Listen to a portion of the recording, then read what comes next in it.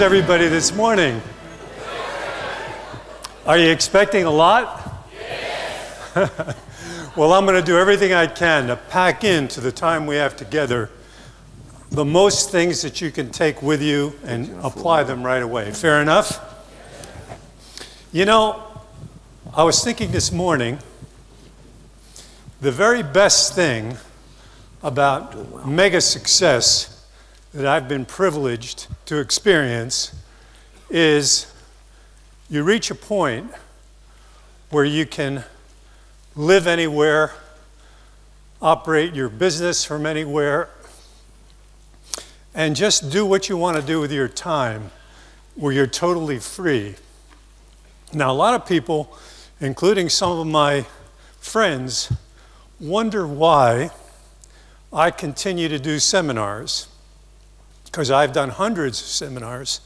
And people wonder, why am I doing seminars? Because I could be on a Caribbean island somewhere drinking pina coladas. And believe me, I like pina coladas. And I could be playing tennis, which is my favorite hobby. I play tennis at a veterans level, tournament level. And I could be doing a lot of other things that I enjoy doing, like traveling. But I was thinking this morning, you know, the place I want to be the most today is right here with you.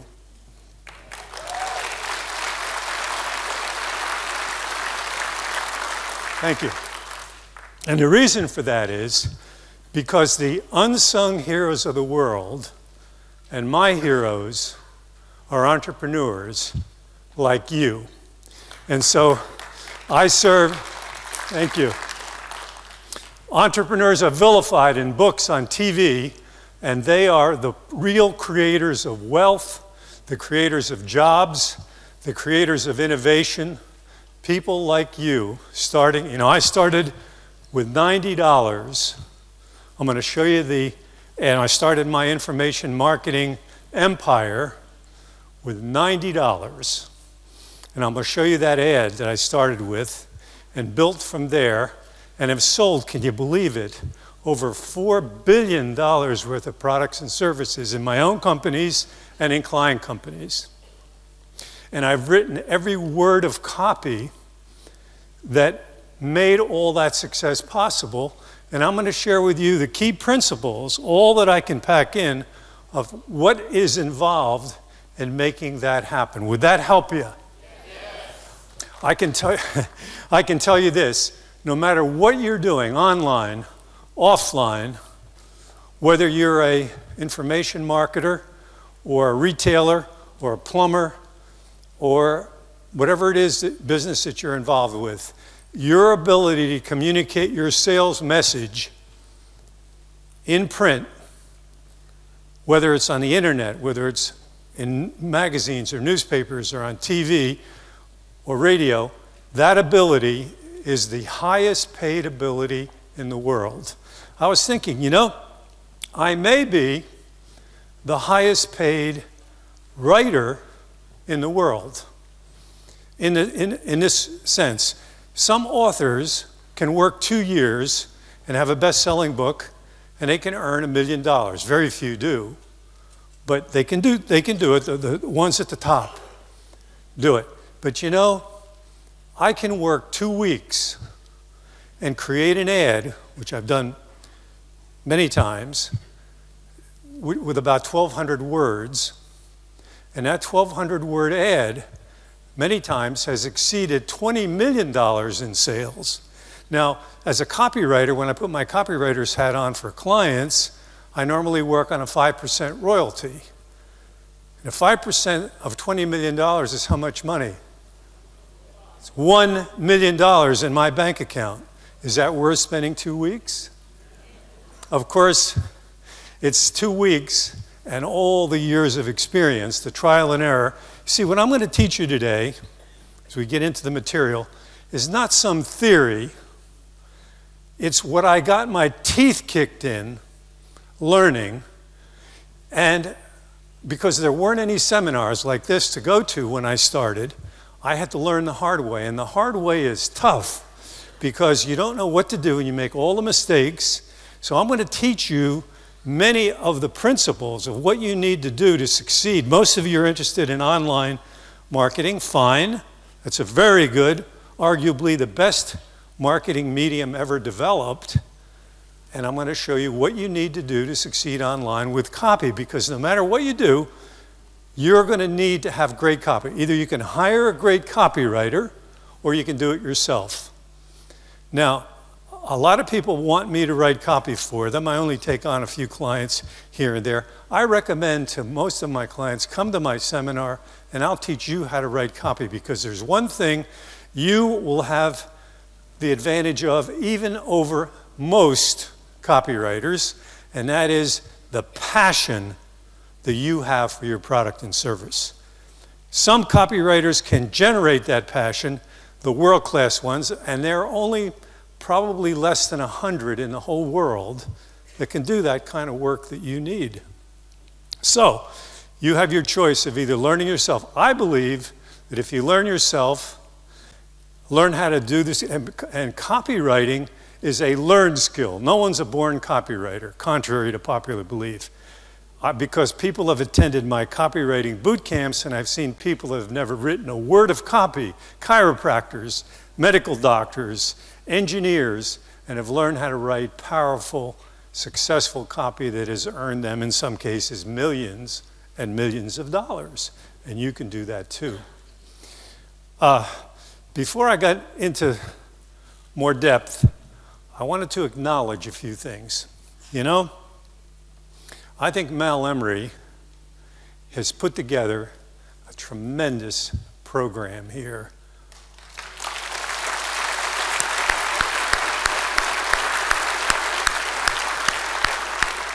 And he told me this morning that today he was cutting a check for between 60 and 70,000 Australian dollars to benefit cancer research, ovarian cancer research. Is that fantastic?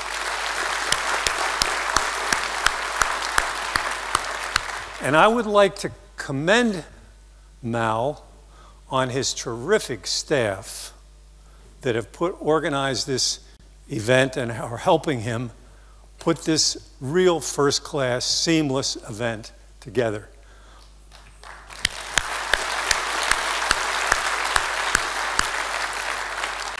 I would also like to comment, I, you know, to me, seminars are an opportunity to communicate with and train and work with the people that are attending, but also the people back home that either couldn't come or for whatever reason are not here. So the taping, audio, and videotaping that's going on right now these guys really know their stuff, and I just think they're doing a great job. So I'd like to commend them.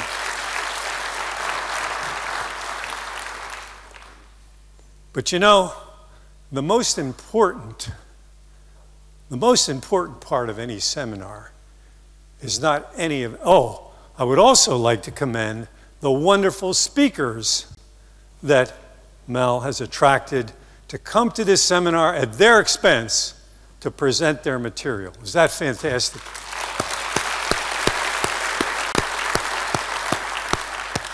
But the biggest part of any seminar are the attendees. You. You know, you know, and every speaker that's ever been on the stage, including me, the thing that you dream about and that you love to get is a standing ovation. And I would like all of you to stand up right now and give yourselves a standing ovation.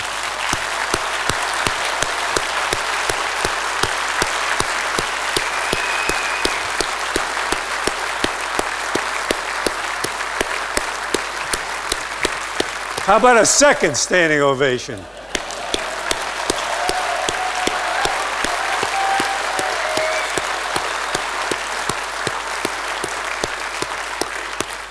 Terrific. Thank you. You know, the, the, greatest thing about a standing ovation is the people giving it feel almost as good or better than the guy getting it, you know? So that's great. All right.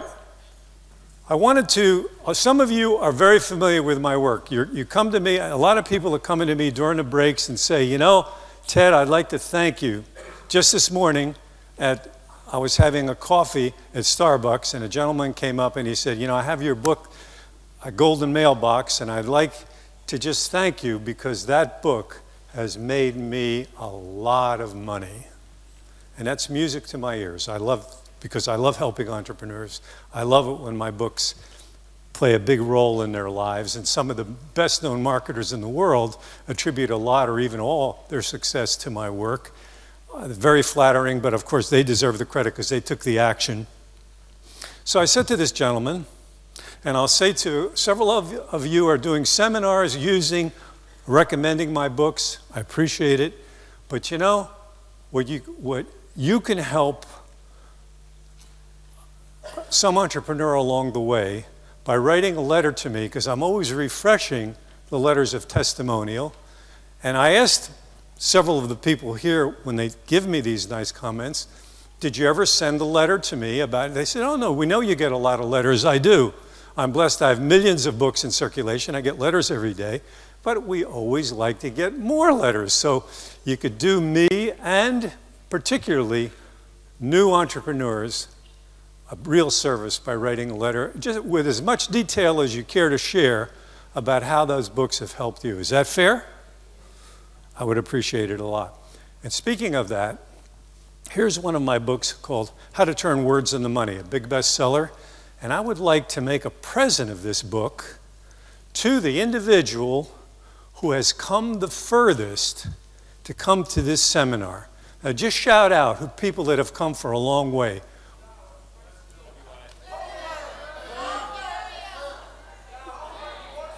I can't, you're all shouting at once, so I can't.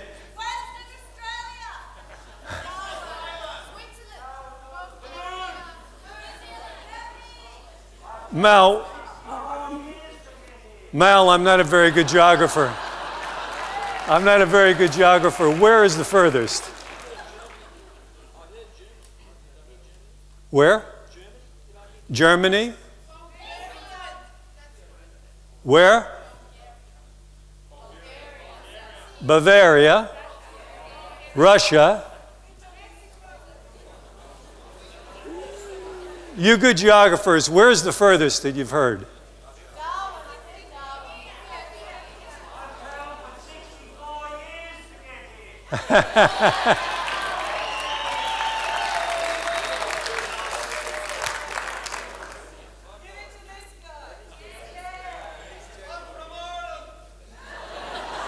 Ireland. Is Ireland the furthest?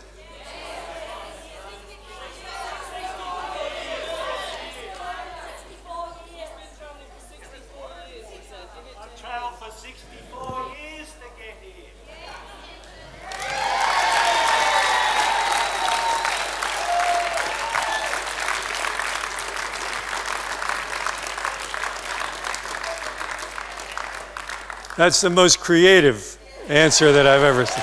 All the best to you. Uh, you're welcome. And I'd be glad to sign that for you at sometime during the event. Okay.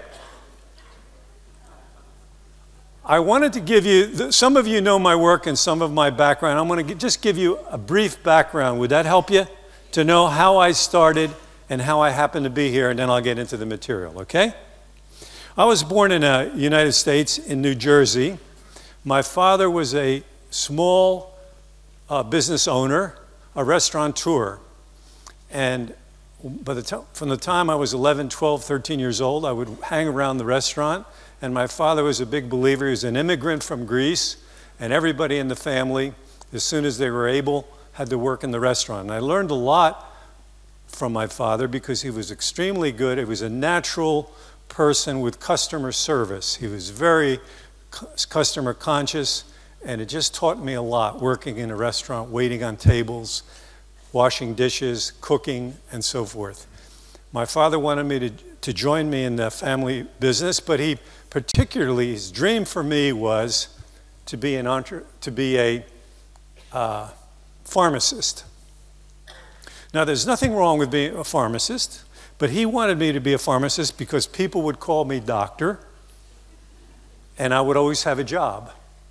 And he was trying to pave the way for me to make my life easier than his was because when he came over, he didn't know the American, he didn't know the English language, and it was difficult for him to get started. And he worked in a fruit stand, and he had a lot of menial jobs, shining shoes, and so forth, until he started his restaurant. And but the last thing I ever wanted to do was to stand behind the counter in a pharmacy and mix chemicals for people. It's just not my cup of tea, you know? I just didn't want to do that. I wanted to be an entrepreneur. I dreamed of being an when I would talk about that with my father, he was very discouraging to me. He thought, ah, it's a tough world out there. Uh, I don't think you, you know, you want to get into that because it's, it's, uh, he just tried to discourage me in every way. But I held on to the idea. I wanted to be in my own business, and I wanted to be in the confectionery business because my part of my father's business, he would make confectionery products, and it just fascinated me. And I used to help the candy makers, and I learned how to make candy, and I would assist them in the summertime on weekends and so forth. And when I was about 19 or 20 years old, these gentlemen that owned at that time the largest ad agency in the world at that time was McCann Erickson. They're now part of Interpublic Companies, and they wanted a young clerk to work with them. My father's business was a summer resort business at the time, and I went to work. I dropped out of college, by the way, I, I forgot that step, but I, I quickly, I, I was in college for a year and I kept on asking my teachers, how can I learn how to be an entrepreneur? You're teaching me how to be an employee, and I want to be an entrepreneur. They said, you got to get experience. And it's the old catch 22. How do you get experience when you don't have the credentials to do anything? And so uh, I got offered this job as a clerk with the McCann Erickson people, and it really helped me because I understood a lot about how the general advertising business works. Because at that time, the company was making advertising history, landing accounts like Coca Cola, Buick. And I would ask Mr. Harper, I was very naive. Mr. Harper, I worked in his office. They liked me because I worked long hours and they, they kind of took a shine to me. And they, I would just do errands for them. I would hang around and do errands and do whatever they asked me to do. And I asked Mr. Harper, how do you know Buicks are selling as a result of your advertising? Basic question, right? He said, Well, we do surveys. I said, Yeah, but you know, Mr. Harper, I'm not an expert on surveys, but you can make surveys say anything you want. Why don't you put in the, yeah, I was very naive. Why don't you put in your ads a coupon so that people that are interested in the new design of the Buick could ask for a brochure about the Buick and you could see how many people responded to the ad and your copy and so forth. And he said, Yeah, but there's one problem with that. I said, What's that? He said, The client would know how many people responded to the ad. And I said, Well, doesn't the client want to know? Well, yeah, but I mean, well, the survey, we, we present surveys to them. I could see very clearly they didn't want to be measured by any objective measurement at all. So I've kind of filed that in the back of my head. And then at age 21, with $800 in savings and $96,000 in debt, I started my first business called Peterson's House of Fudge. And it was a business where we made 77 flavors of fudge, caramels, and other products right before people's eyes. And what I did in that business, I took over a retail proper, a retail store that three people had failed before me, and it was available because nobody wanted it. Everybody figured it was uh, a, a big dark cloud over this building. And I found out who the owner was. His name was Harry Kendall. And I went to him and I said, Mr. Kendall, I'm a young guy. I guess uh, my name is Ted Nicholas. I want to start this business. I want to start a candy business here, but I have no money. But what I will do is I will buy your property with no money down, but I will personally improve the property. I'm going to paint it, I'm going to spruce it up, and if I fail, you'll have your property back, it'll be improved. He said, Geez, no one's ever approached me with that kind of a deal. I said, Well, please think about it over the weekend. I'll come back on Monday. This is Friday. I went back on Monday. He, Mr. Kendall, somehow or other, he took a liking to me and he let me buy the property on that basis. And I'll never forget, the mortgage payment was $308.74 a month. And that's how I started in this place. But I opened the first day in business about two weeks later. And the first day I took in something like $30. And I thought, oh my God, I'm going to go bankrupt. Well, I thought if I went bankrupt, I wouldn't lose much because I didn't have anything. but, but I didn't want to go bankrupt. I wanted to do everything possible to succeed. And I thought to myself, there's 25,000 cars passing my location. I've got to figure out some way to stop those cars without much advertising budget. So I'm reading the paper one day and I see a young, attractive young woman who just won a roller skating contest. So I thought to myself, and most of the people driving by were men, and I thought to myself, what, what turns men on? Well, I'm thinking two things really women and cars, and not necessarily in that order, but women, I knew, I knew they, they like to look at attractive women. And I went, to, I, met the, I went down to the roller skating rink where she practiced every day. I introduced myself and I said, Listen, I've just opened a candy kitchen down the road, and I would like you to consider the following proposition.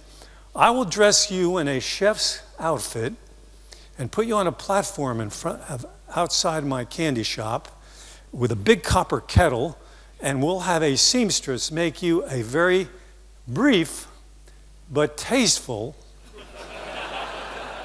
outfit. And you'll stir this copper kettle, and we agreed on an hourly rate. Would you do that? And she said, Sure. I, I, like, I need the extra money. I said, Sure. So she came the next. Well, that Saturday when she came out, we had a traffic jam in front of the place. and a lot of people stopped, and my business really started. And the local newspaper heard about this crazy thing out there. This woman stir, stirring, uh, she was stirring a copper kettle, and they did an article about this new candy shop, and one thing led to another, and the business really started to skyrocket, started making money right away the first month. And then I went to the local sign company because it was one of these situations where I wanted to have a series of roadside signs that said Peterson's House of Fudge 11 miles away, Peterson's House of Fudge 9 miles away, and so on until you got to the place. And I started putting additions on the road signs, and this is where I started getting interested in words. Words. I started putting different words on the signs, and depending on the words that I put, a greater or lesser number of people stopped. For example, when I used the words see candy made, three words, see candy made, a lot more people stopped. And then I put the word, the magic words, free samples. And more people stopped. So I began getting very intrigued with words, and I would talk with other businessmen, small businessmen in the area about words, and they, they didn't seem interested at all. They didn't know anything about. It. So then another thing affected me with the words. I created my first brochure about all my candy products, and I put it in each satchel going out of the store, and, and then I created a second catalog and a third and within a few months, I had several different catalogs, and I described with a copy the confectionery products differently in each catalog, and the results were different. I thought, this is fascinating stuff. Boy, that's really something, and I couldn't seem to. I couldn't seem to get any confirmation about was I on a good track or on a bad, but I could just see common sense. In the meantime, I was a, then a great letters to the editor writer. I like writing letters to the editor of newspapers and magazines and seeing my letters printed. And I thought, someday I'm going to learn how to make a living using things that I write And because these people are publishing things that I write, and, and I'm competing with all these people that are submitting letters to the editor. And so this is like kind of got my real interest, the, the, my hobby of writing letters, and then my business with using words started, I started putting two together.